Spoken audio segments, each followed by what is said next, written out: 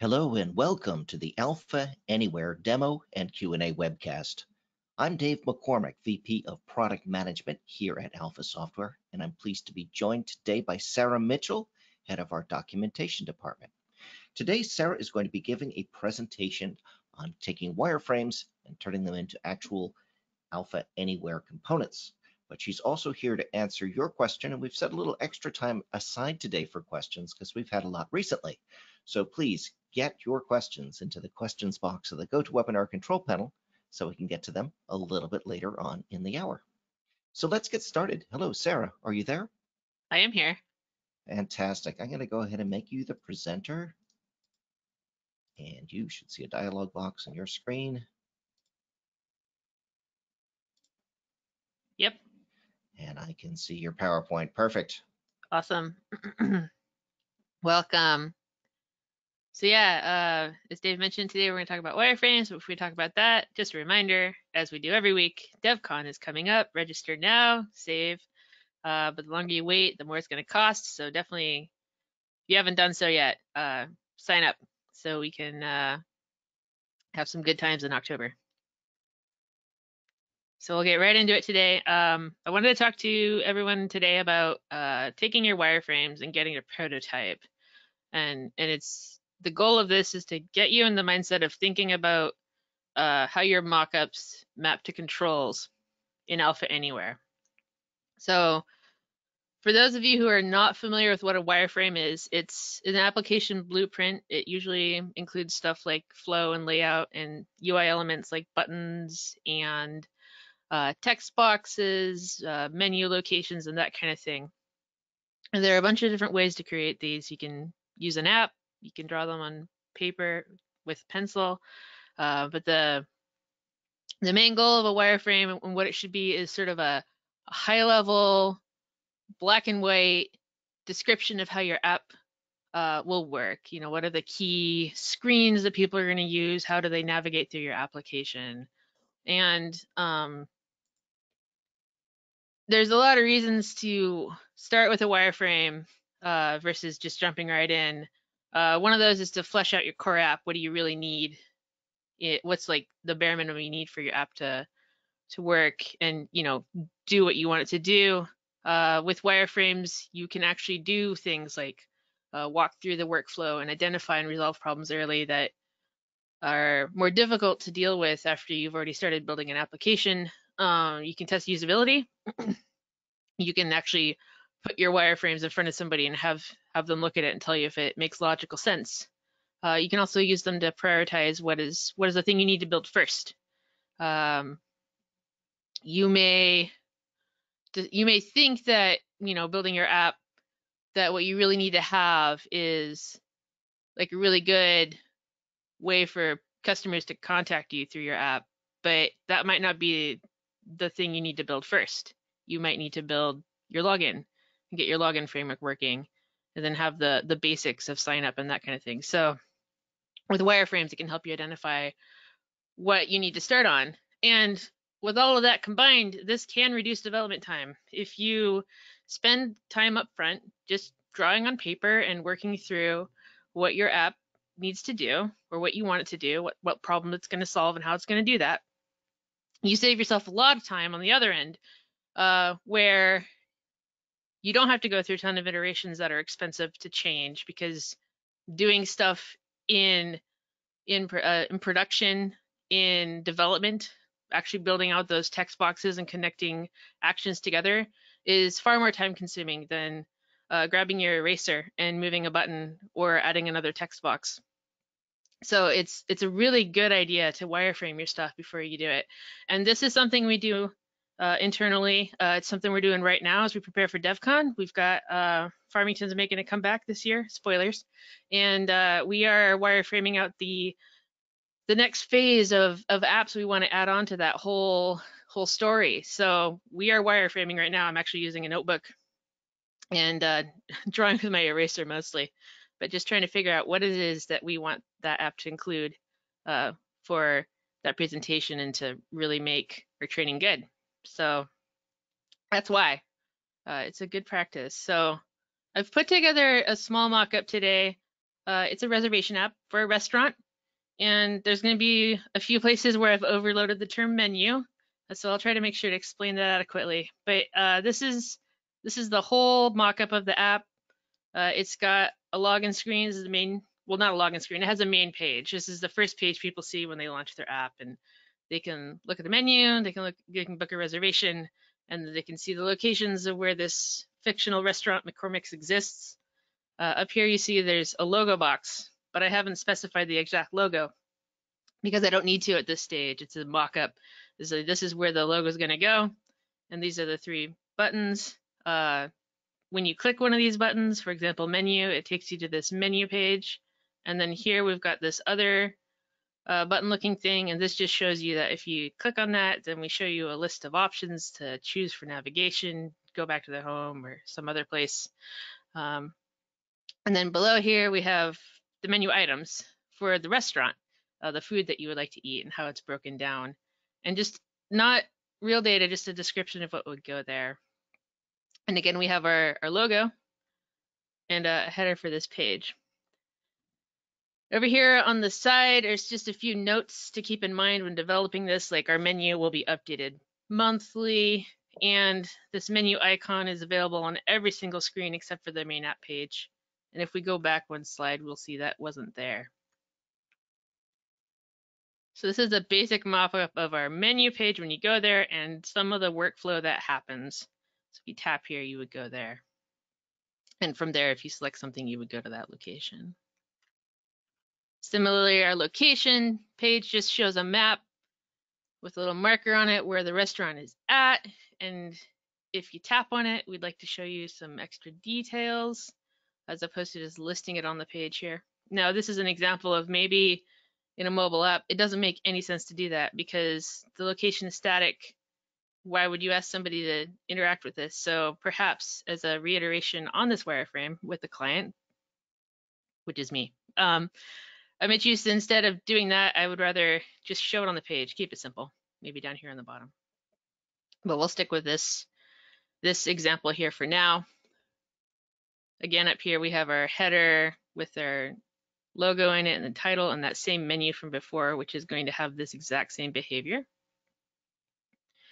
And then finally, we have reservations, which is the real core of this app. The, the, the app is for making reservations. People use the app to reserve a table um, so they can come in and dine. So this is got this is where the bulk of our actions happen. So when you first view reservations, you see options to set select a date a time that you would like to make your reservation and how many people in your party. And once you filled this in and you click find a table, you see a list of available times for that date. And when you select time, you're then taken to the final page where it shows you the date that you've selected, the time you've selected, and the number of people that are in your party, and then some additional information so that you can book your table. And then off here on the side, some additional notes. Uh, our find table lists the available time slots for the date specified. And when you click it, you take it to uh, reserver table, reserve table. and then on the reserve table screen, uh, there's a note here that they would like to include like a, a, three minute hold on the, the selected table. So like some sort of timer or countdown. It's not, it's not pictured here, uh, but this is something that's come out of the notes. Like we want to include this somewhere, maybe up here at the top um, maybe down at the bottom next to book table, but somewhere would like to include that information. And then finally, this book table button, there's no mock-up for it, but when you click on it, they'd like to display a confirmation with a button that would take them back to the home screen, and also that clicking that would email them reservation confirmation.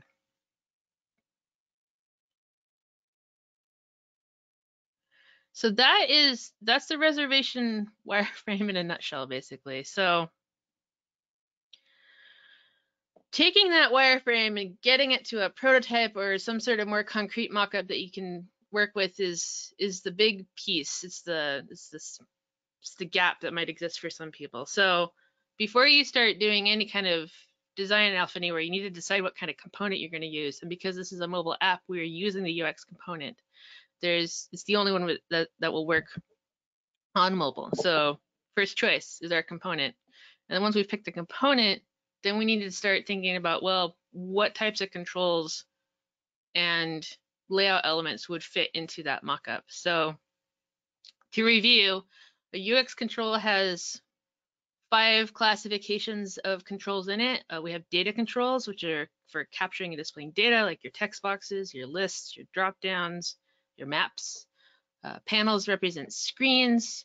There are three types of panels in the product. We have panel cards, a panel navigator, which lets you navigate between panels, and a panel layout, which lets you decide how panels are laid out on screen, uh, side by side, top to bottom. We also have containers, which are control layouts. You put controls in containers. This include panel headers and footers, but also generic containers, windows, um, alignment containers, that kind of thing that help you aligning and group stuff together on the screen. And then finally, the other two classifications we have are other controls, which are used to display and collect information like data controls. The big one being there that they don't have values to get or set. So data control can have a value that you can get or set. Uh, other control types don't necessarily have a value you can get or set. Um, they are also used to trigger custom workflows. And when I say that, I mean buttons. You click a button, it triggers a workflow. Uh, but other other controls include static text, static images, the placeholder control, uh, embedded components, the file drag and drop, so on and so forth. And then the final classification of controls we have are defined controls. And these are controls that either have a, a predefined workflow in them or some sort of pre-built interface.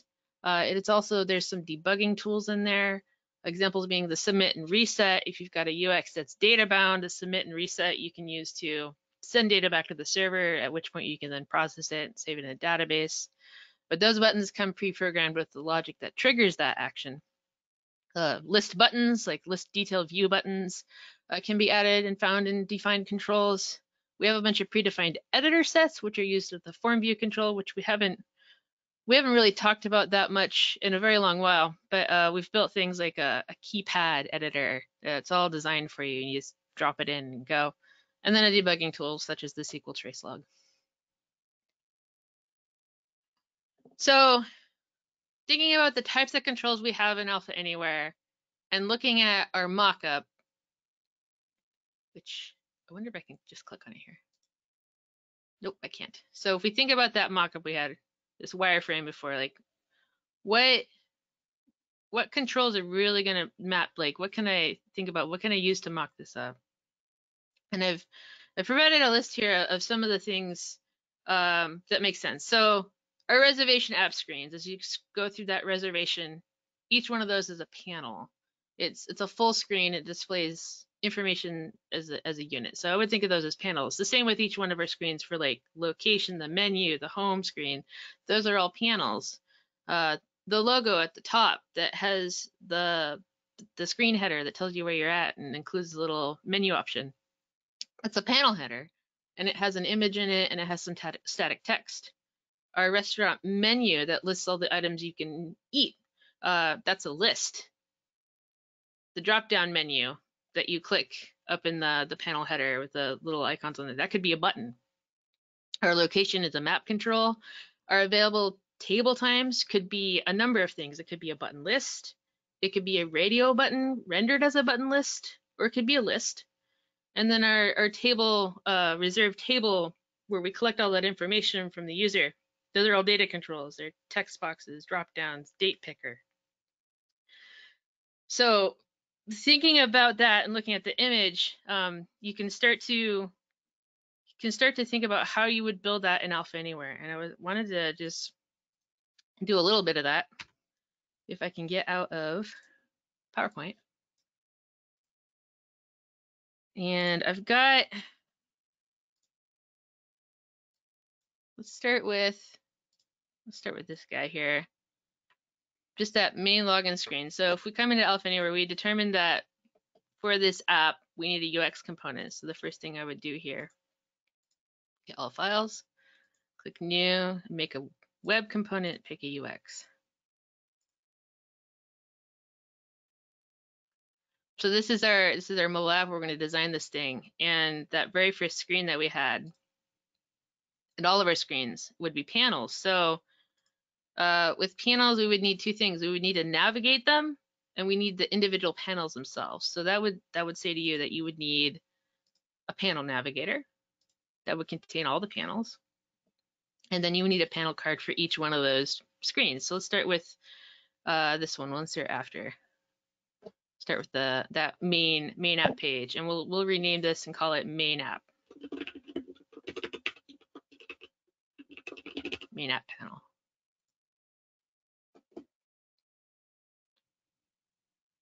So we click back here, we see these were buttons. We also have our header up here. So let's put a header in here. You can actually right click and say panel header.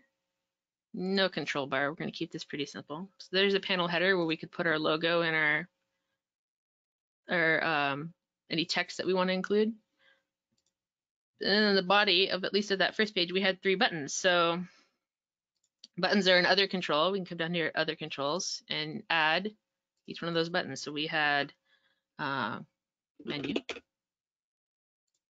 OK, and I need to move that.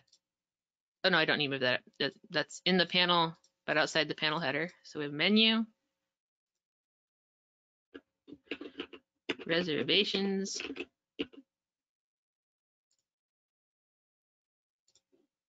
and location.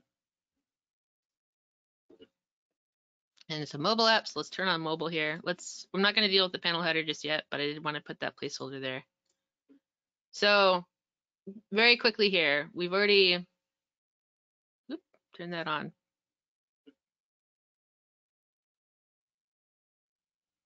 We've already started, we've already mocked up that first screen that people are gonna see when the app app opens. And it's menu reservations and location. So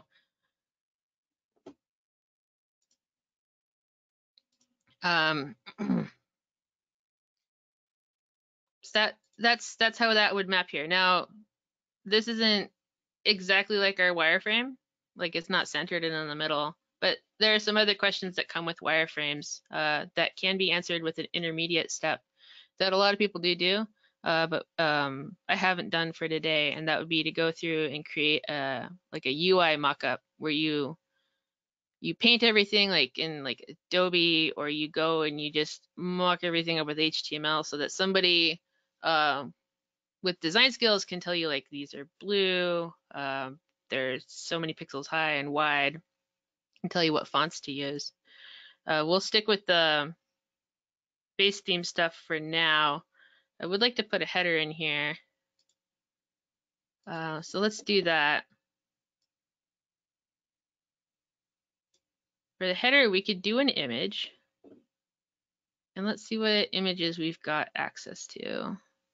Image name.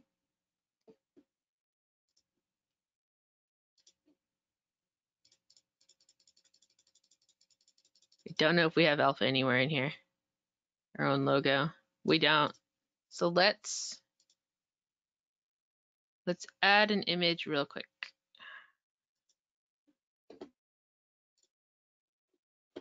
Go to my downloads here.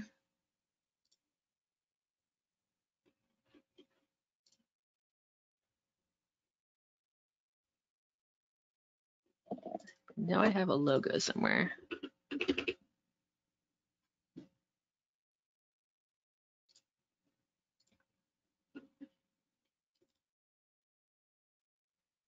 Ah, here we go. So come back here. I'm going to quickly add new folder images in my wireframes web project. Open that up. And I'm just going to copy in here Alpha Anywhere logo. And I think I can turn on preview. There we go. Oh, it doesn't want to show it. Well, I guess you'll have to trust me for a moment. That's the logo. But that's now here in my project. I can come back here to the static image and double clicking it and say image in web project or style and select from the web project folder. And that's our logo. I'm not sure why it's doing that.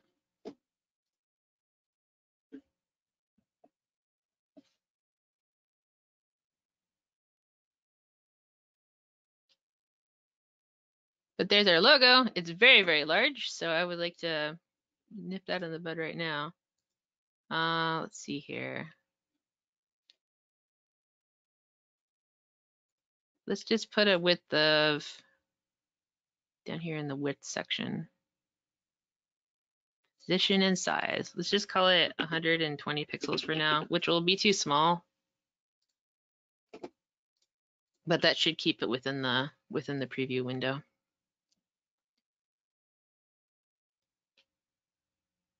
So that's there's our logo up in the header. If we want the contents of this panel centered, I believe we can just check center panel contents. And it should put everything in the middle for us.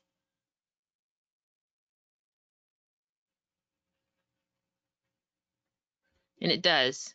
And um, this you can resolve by using a container, which is in containers. We'll just put a none container around that.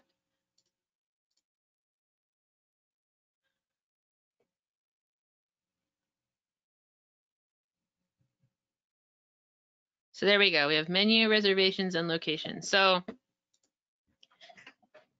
there's my main app panel. I would like to start designing out all those other panels or reservations or locations. So let's let's do menu. And then I think that'll be a good stopping point because I don't want to, the goal isn't necessarily to build the whole app today, just to get you thinking about um, the controls you can use.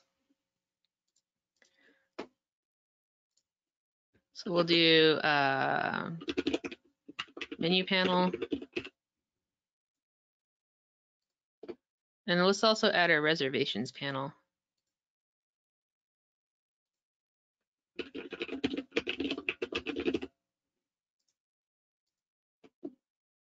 And I'm gonna duplicate this. There's a hotkey you can use, Control D, and Alpha Anywhere will duplicate everything that, that you've selected. And fun fact, it works in the viewbox and form view layouts. So if you're working in the in those layouts using the Genie, duplicate that again, put it down in our reservations panel. It's a it's a really quick way to add extra static text and stuff like that. So we have our menu panel, reservations panel. We want to navigate there when someone clicks on it. So let's edit this button and add that action. Go edit the JavaScript touch mouse click event. You can also just double click a button and it'll open up the click event for you because that's the most common thing people do with these. So we'll add our, our panel navigation. We'll find panel actions, click OK, and we'll say navigate to the menu panel. So we'll say set active panel, menu, save that. And then for reservations, we'll do the same thing. I'll double click that. Panel, multiple actions, set active panel, target panel name, reservations, And just as a side note, I'm going to leave this on carousel so I can click drag to get back because we don't have our, our menu uh, option that we could use to get back to those other locations. But let's just take a quick look at this.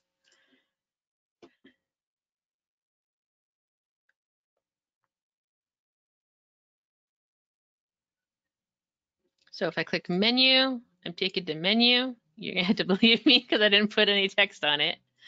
And then reservations takes us to reservations. And as we go back, notice we're going through two panels. So the the navigator is left to right layout, so you have, have to go through everything going back. But if we're going back, that would be our menu, and then we're back here. So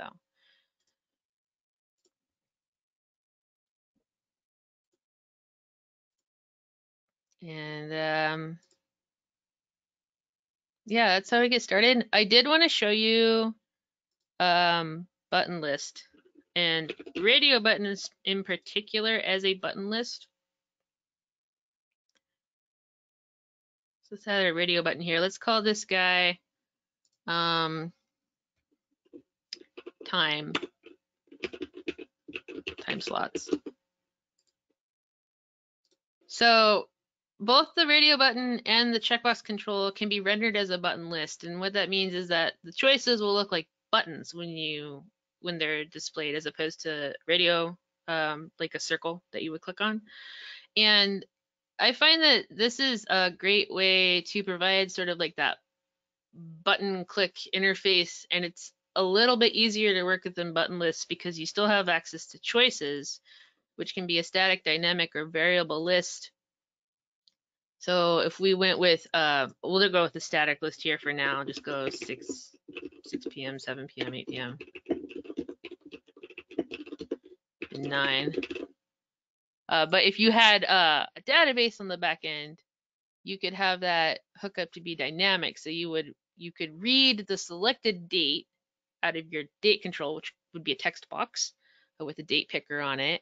Um, and so someone would pick that date, and then you would use that date and say, right, show me all available time slots for this date that are that are available, and then you would bring those dates back, uh, those times back down, and then that is what would populate your time slots here. So live preview this.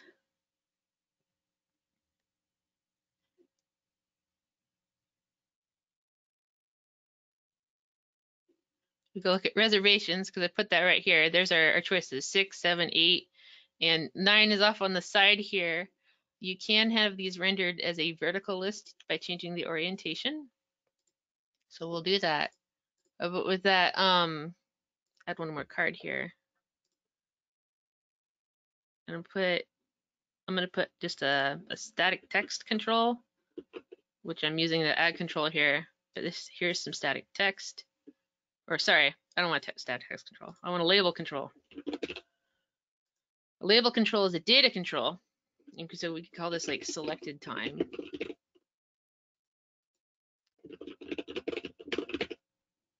Click OK.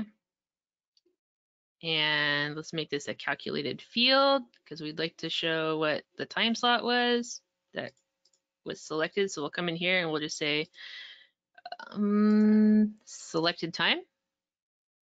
Oh, not selected time. We want time slot. Insert field, time slots. There we go. And then in time slots, let's add an action on the click event The click. Let's do on select. And we'll have to use JavaScript here. But the uh, what we want to happen here is to navigate to the the last page. We've picked a time slot. So we want to show that like final page. So look like we'll look for a set panel, the panel set, panel set active, insert that, We'll get rid of this stuff here, and I should have renamed panel card 4, but um, we will just use that. For, so this is the card we want to show when you click that. Click OK. So now we live preview.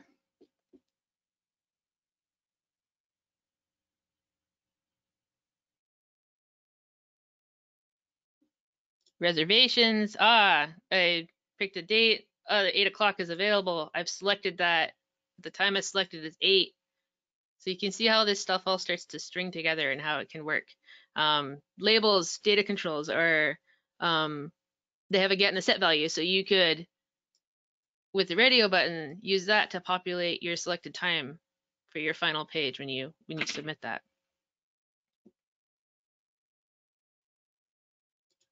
So that's um, sort of like just just scratching the surface of what um, oh, lost my.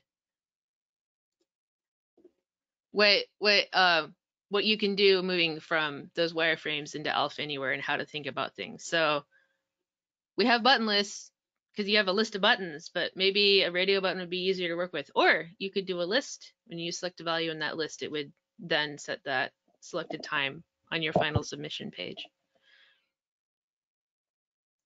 So that's uh, the entire presentation I have today. Uh, we can certainly keep going through the design of that mockup, um, but I'm hoping that I've, I've communicated uh, to you how to sort of get started and, and how to think about taking your mockups and translating them into something more more tangible as a first pass prototype.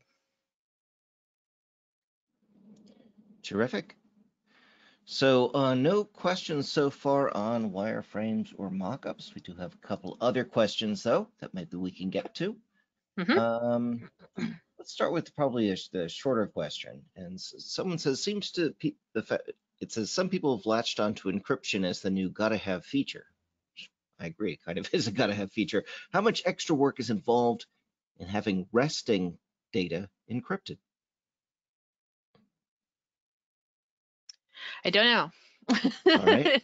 this isn't Well, something I, I have know- a lot of knowledge know- on. Well, I know that we went through this process with Transform. Transform, although we had the data was kept in a secure location, only we could access it except through certain lockdown API keys. We decided that it would be best to also keep the data encrypted uh, at rest as well.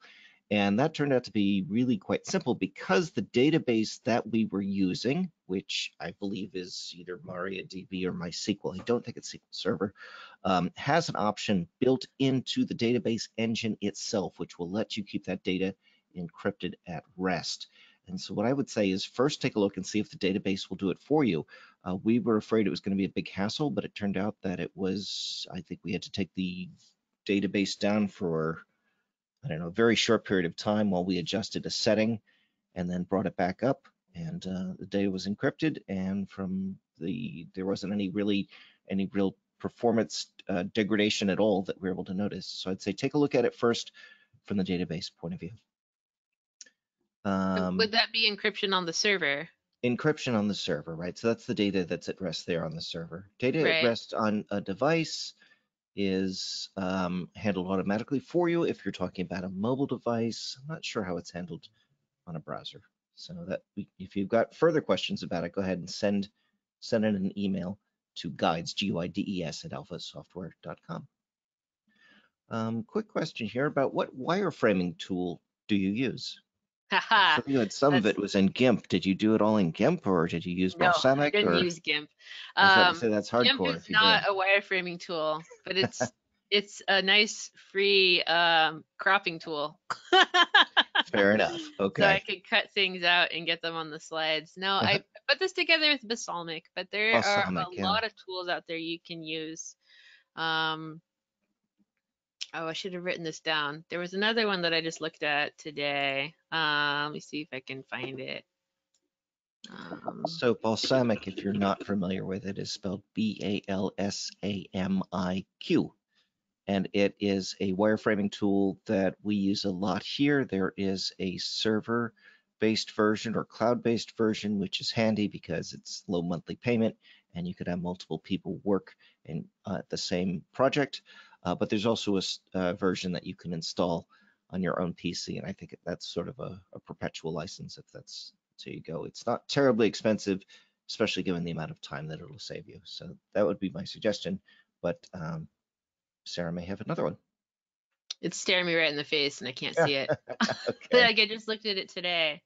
Uh, it's one that I've seen other people in the community use, and it's it's nice because it it has more um,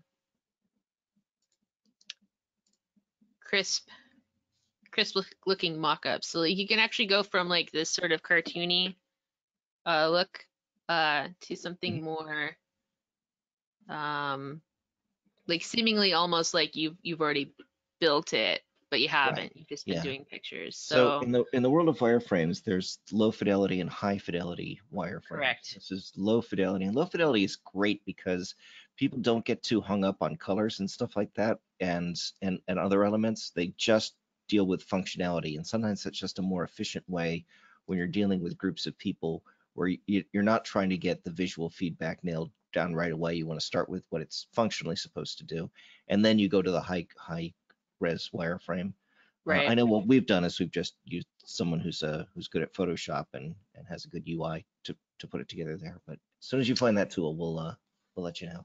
Ah, uh, Figma. Figma is the other one. Figma. Yeah. F-I-G-M-A. Yeah, let me go to their website here. And well, it still has me logged in.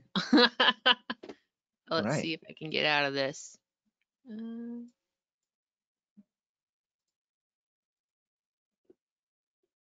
so yeah, Figma is another cool one. And the cool thing about Figma is you can actually make your your wireframes interactive and like play them back. So if somebody clicks on something, it shows them the next wireframe. Oh, that Whereas is with interesting. Balsamiq, I I'm not 100% sure if that is in here. It might be. Yeah. Uh, full screen presentation, link hints, close. I'm, I'm not really sure. User test. Yeah, so um, you know, this is Balsamiq. This is the presentation mode. But uh, Figma is another one, and they've got some really cool uh, pre-built stuff uh, that you can drag in there. And I was really impressed when I saw it. And it is is free to start using it Nice. when you sign up. So. nicer looking than Balsamiq, I would say. Oh, I mean that's I feel like that bar is pretty low, but um. That's fair. Yeah, Balsamiq is simple. It's something I've used a lot. It's something we use in the office. Uh, but Figma is another one that I would like to get to know better because I, I think a lot of UI uh, designers out there actually do use this uh, more than more than Mm. this, and it, it can do everything. It can do your Yeah. your simple basic mockups, which you get with Balsamiq, and then you can go And, to your and as someone higher pointed out, some stuff. some of these tools blend sort of wireframing with uh, kind of like prototyping at the beginning. Mhm. well. So Yeah, yeah. Yeah. So yeah, you can do a little bit of that that prototyping with with Figma and just just by drawing boxes and stuff. So. Cool. Um, couple other questions. All right, so here, let's ask this. I'm going to ask a tough question because we have time if you have the Yeah. ability to dive into it. Let's find out. Uh, so we got, actually, this is one that came in by email this morning. And it has to do with uh, the form view. And what they would like to do is talk about, is see if you could talk a little about, about the form view, which has controls with a switch and a date time object in it. And when the value of the switch control is changed, it wants to capture the date and time of the event. So like when they the the moment they want to capture the date time, the moment the the the control is moment the switch is changed, exactly.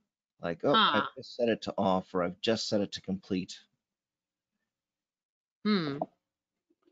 Let's make a new component, and it's the form view control that they're talking about. The form view control. Okay.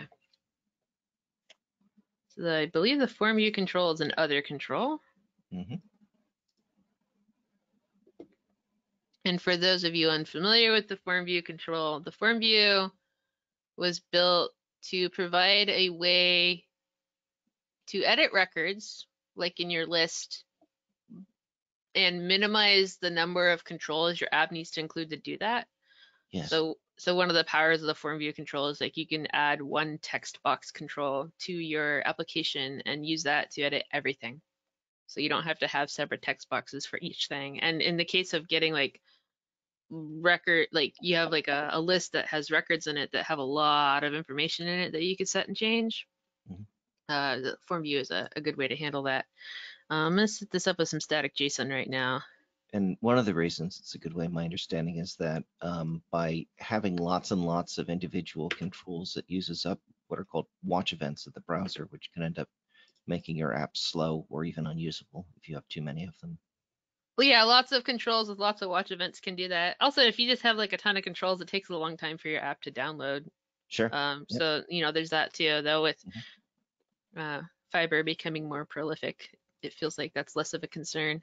Mm. Uh, so I'm just gonna set this up with one record because, like the list control, if this had multiple records, it would render the layout multiple times. Mhm. But it sounds like they have a switch. So let's let's edit our data here to add a They've got a switch boolean they've got- field. and then a date time field that they want to capture the date and time that the switch was done. uh, date, time. I'm just gonna say null for now. See if that likes that. Cool, valid. All right. And I don't know. All right. The deceased is unspecified. Display format. No. I see this at I'm remembering on the fly what this is. Did you? Your example is taking a turn for the macabre. Yeah. Let's go look in the documentation. Right. It's it isn't a bad idea to start asking questions about form views and view boxes right oh. now because I have been in that documentation recently. Great. Switch.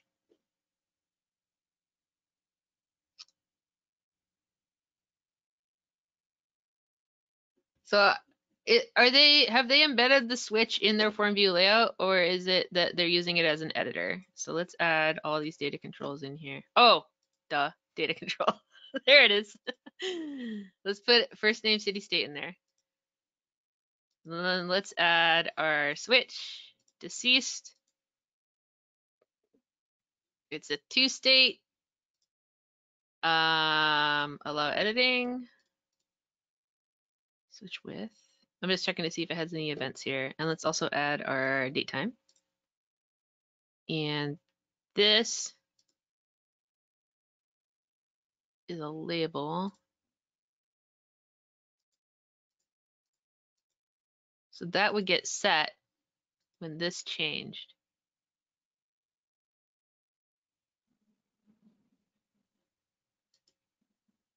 So let's just click OK real quick here and just to live preview this to make sure that I'm not, um, or to make sure that I've, I've set this up the way that they, it sounds like they, they want to set up. So, aha.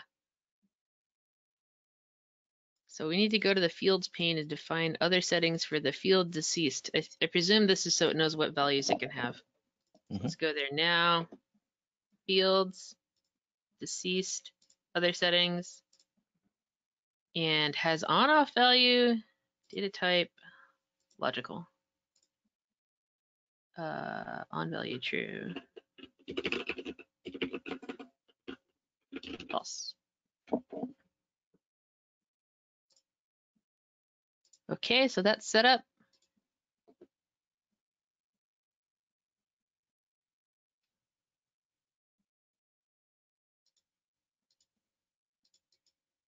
Alrighty.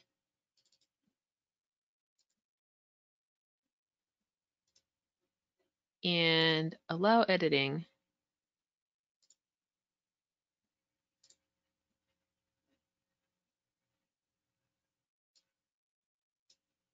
Interestingly enough, tapping it did not change it.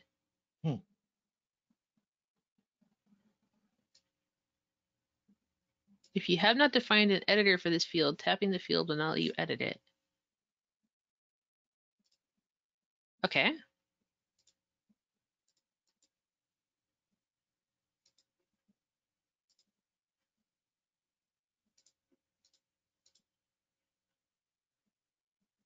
So we need to set up an editor set for this guy. Okay, let's do this. I'm gonna start by putting this thing in a container. Sit around. And then after this, I'm gonna add a container editor.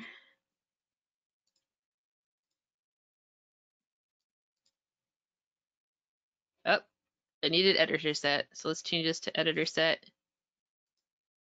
Okay, and then define controls.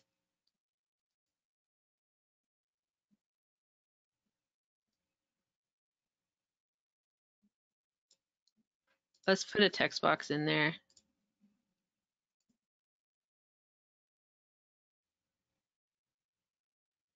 And wait.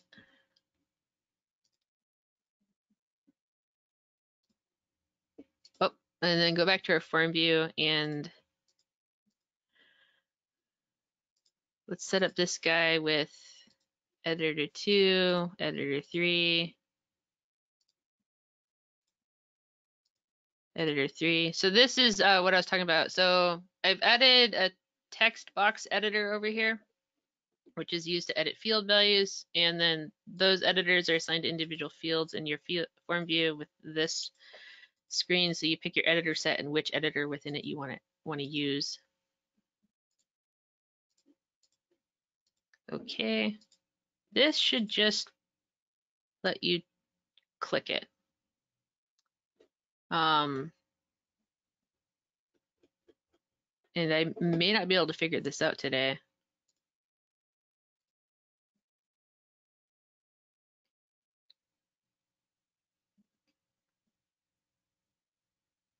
So here's our form view. If we click this guy, that's the editor for this. Last name, city, state.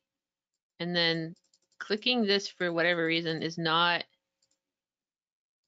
doing anything. And I'm wondering why.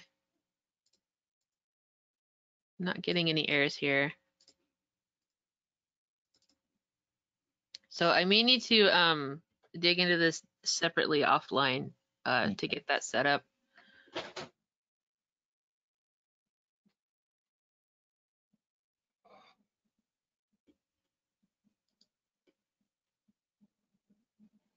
But I, am I on the right track here with what they've set up in their component? I think so. Why don't we come back to it next week? And in the meantime, if you want to send in Yeah. uh, the, an email, a follow-up email to guides at alphasoftware.com to make sure that we're trying to do what you actually want to do, um, we can uh, complete the example next time we meet. Yeah. So there is um on the documentation site there is a switch control video and there's a component associated with that. So I was going to pull that down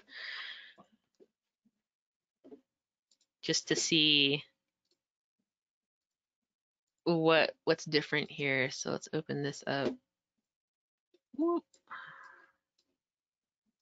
Copy that in here. And look at it. Ooh. I haven't seen that pop up in a while. so here's our form view.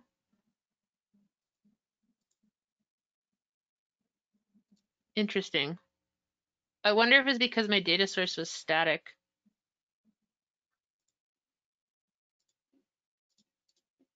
Because I didn't see those other options. Hmm. Well, in the example, the person did say that the data source is going to be a list. Yeah, so that's so that's clicking it, and they want to just capture when it gets clicked. Mm-hmm.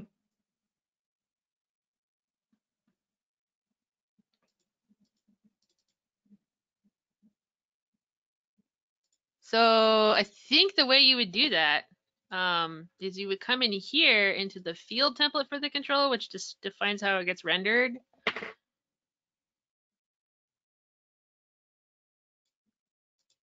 And I believe that's the value.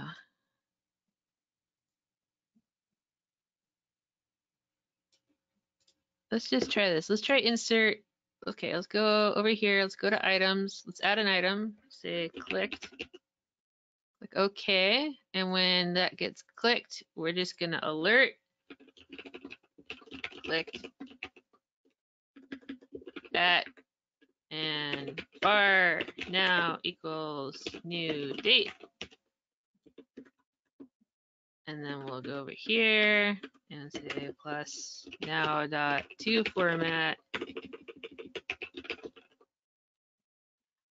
Uh, see, we want year, month, day, hour, zero minute.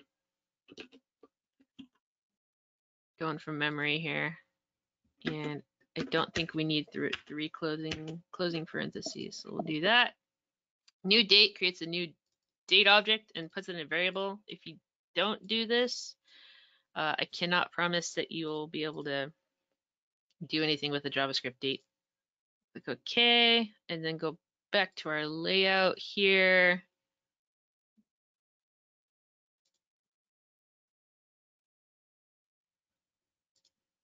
Edit the template and just do insert item clicked. And see if that does what we need to do. Save it. Live preview.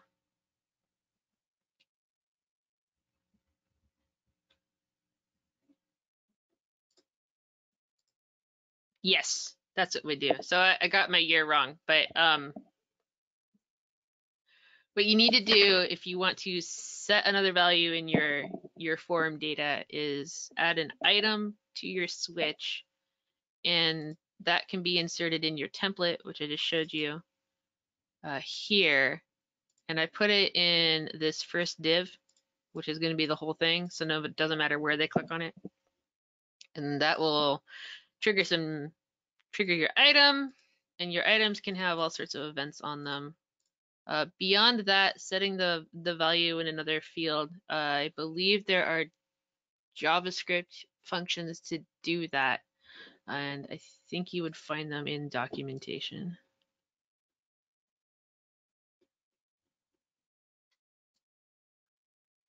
see here. We might even have a video on how to programmatically set a value.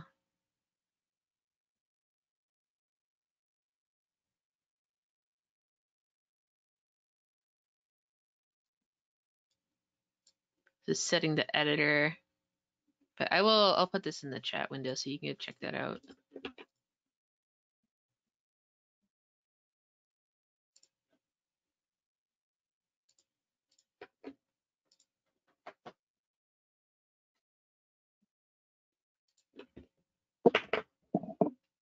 So I think that gets them closer.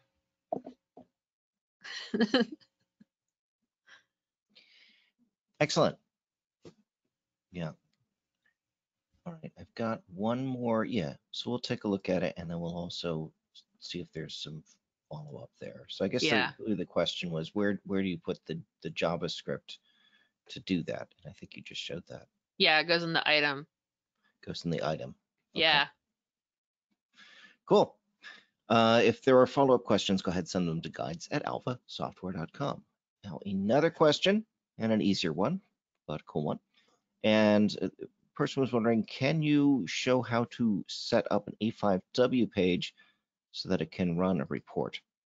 Let me see if I can find the exact wording on that.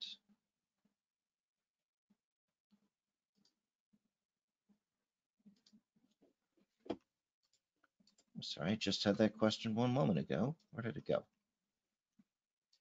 Disappeared in the list.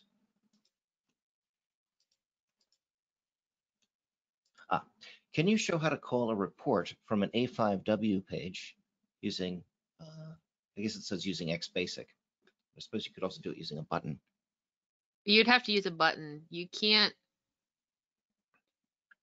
you can't call XBasic without a button. Mm -hmm. Um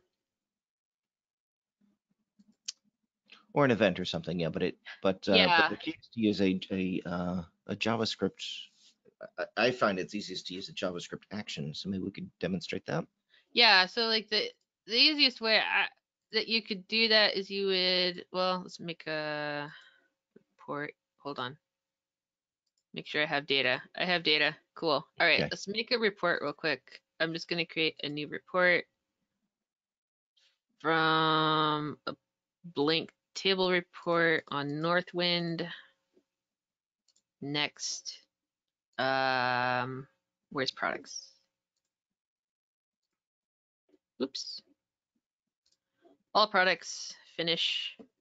Okay. And then just very um quickly put some stuff in here. Uh product name. Um units in stock. Units on order. There we go. And then if we preview this, it's gonna look amazing. I'm gonna name my report to print it. File save as products. And then one of these is preview. That one. There we go. Look at that. Go. Amazing. All right. We don't know what units are, but we know they're they're in stock. So all right. So we have our report. So I'm going to close this. Then I'm going to make a new UX component, select all files, new web component, UX. Okay. And I'm going to add a button using add control. Search for button. Oh, I should probably give it some text. Change that text real quick. Run report. Okie dokie. And then down here it's click event. add a new action, open an email report letter or layout. I'm going to select my report that I just made. Should only be one. No filters. Um, and leave all of the defaults. I'm just going to keep all the system defaults here. I'm just going to pick that. Uh, display products report, save that. Then I'm going to save a page. I'm going to call this uh, products report. Oh, I got to save my component first. Products report. I am going to call the page the same thing. Save page, accept the defaults. Save. Yes, I want to replace it. And then come over here to Web Project Control Panel and live test that. Product report locally. Clear out my live test folder.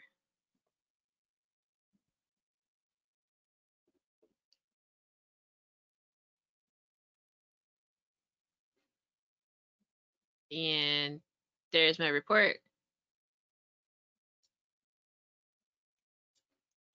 With that component. Uh, If you go and you look at the A5W page that got created, this guy here.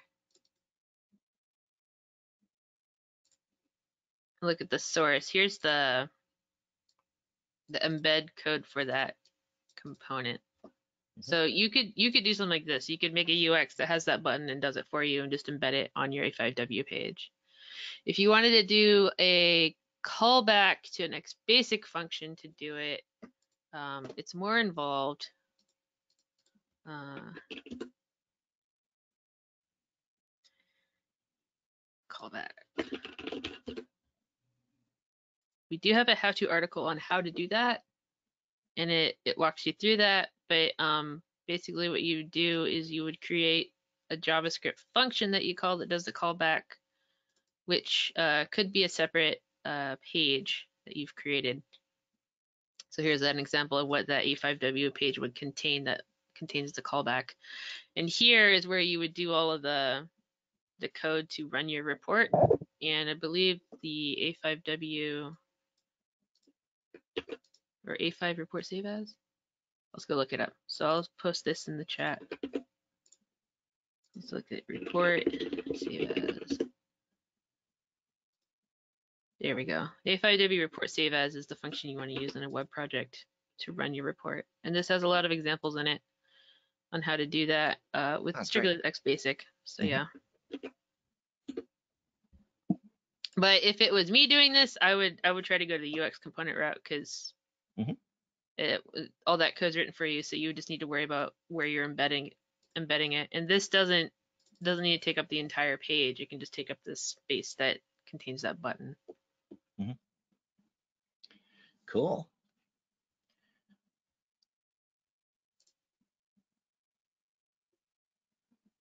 And it looks like they were having some issues specifically with A5W report save as function, in which case go ahead and send in an email to guides. We'll see if we can get that straightened out for you.